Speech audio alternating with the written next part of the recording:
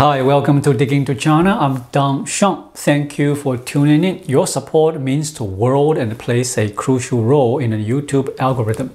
Liking, sharing, and subscribing not only show your support, but also help YouTube recommend my videos to a broader audience. Thank you very much. Today, let's discuss the significant political news that's capturing attention in both China and the United States. On April 2nd, Biden and Xi Jinping held a telephone conversation. According to reports from China, it was a scheduled call. Understanding the significance of the leaders of both nations communicating once more is important. It's not merely about picking up the phone, rather, it reveals underlying issues in the China US relationship.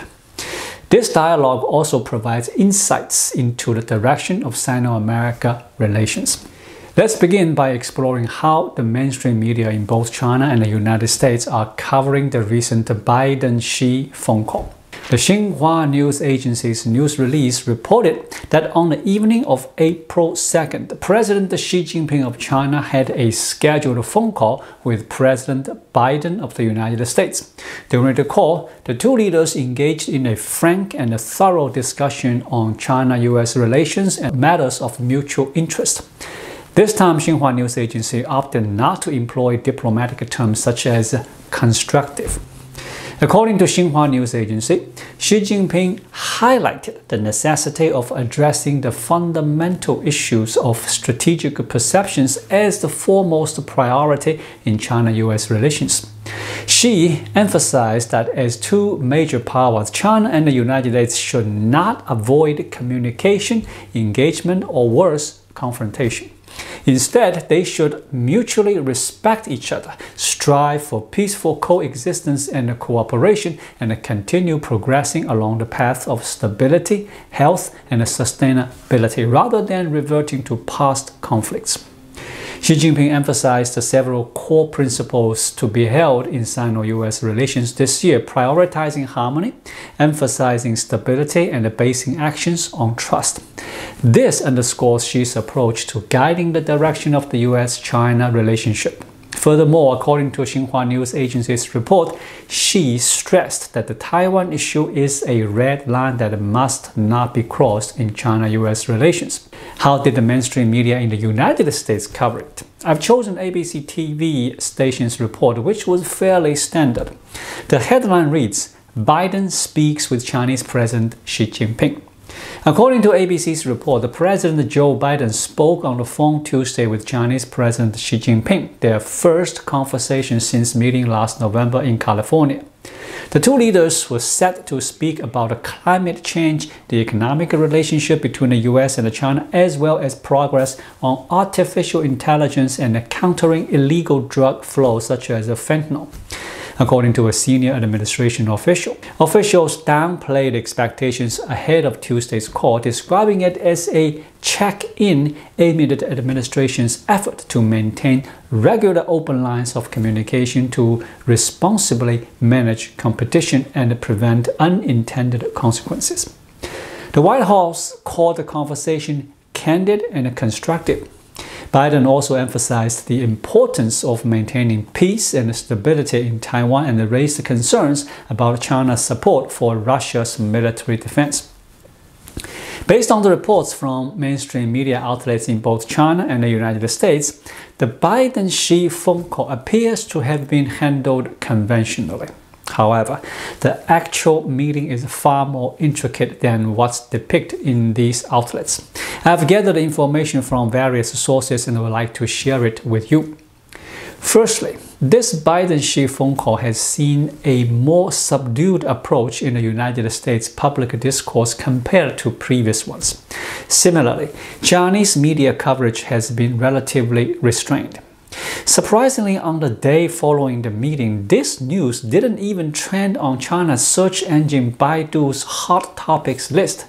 It's uncertain whether this was due to intentional suppression by the Chinese Communist Party or simply a lack of interest among Chinese internet users.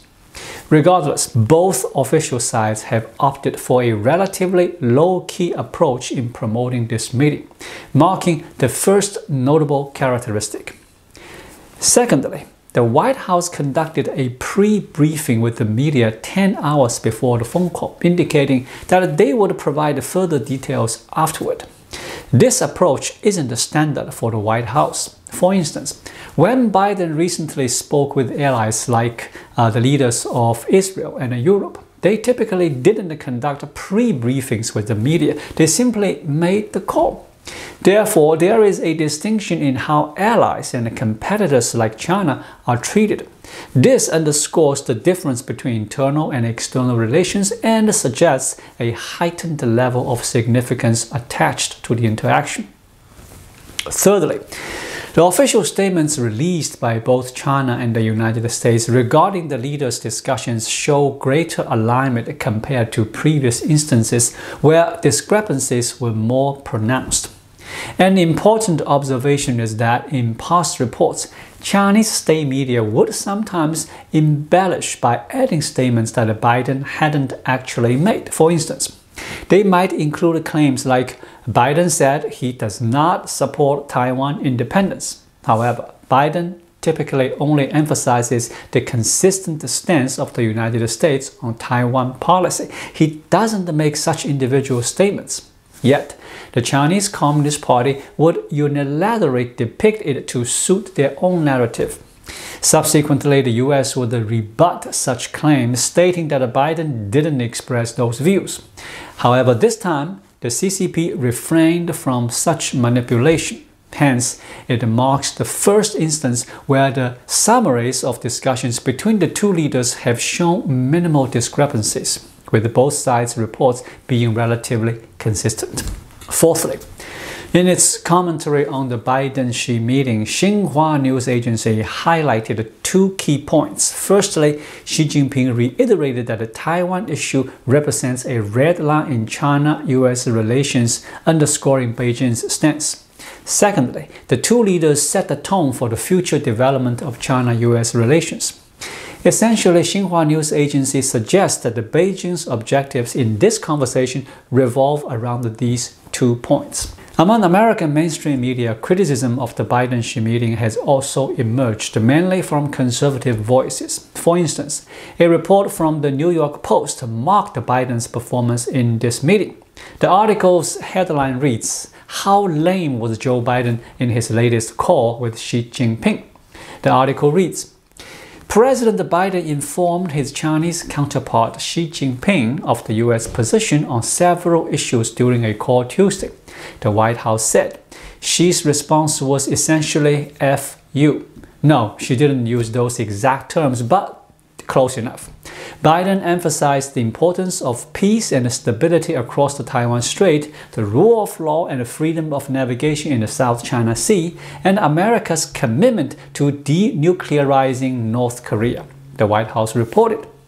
And he raised concerns over climate change, China's support for Russia's defense industrial base, and its unfair trade policies, etc., etc.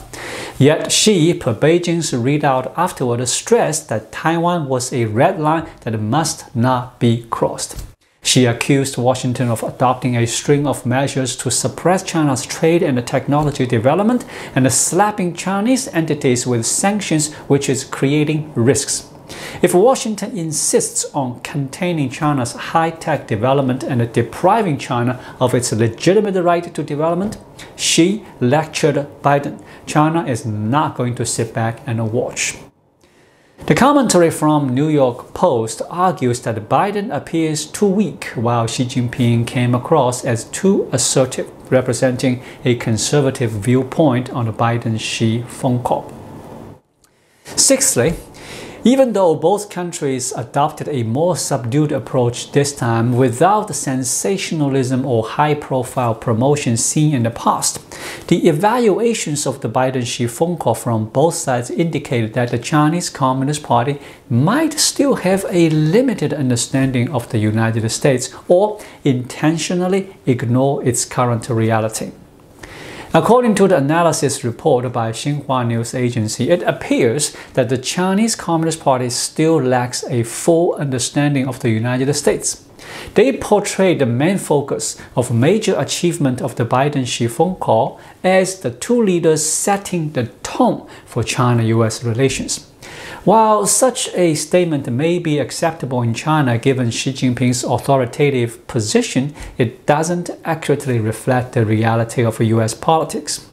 In the United States, President Biden doesn't have the unilateral power to dictate the direction of relations with China. Instead, US policy is shaped by a complex interplay of factors including public opinion, party dynamics, and congressional decisions. Therefore, terms like setting the tone and direction are political concepts more relevant to China's context than to the nuanced dynamics of US-China relations. This misunderstanding may stem from the CCP's limited understanding of the US political system or a deliberate oversight of its complexities. It's important to recognize that the US decision making involves a multitude of stakeholders and processes rather than being dictated by one individual or entity. On another note, Xi Jinping's notion of drawing red lines seems more like setting boundaries for himself rather than for others. While the idea of drawing red lines may convey a sense of authority, it appears to be more of an expression of sentiment rather than imposing tangible constraints.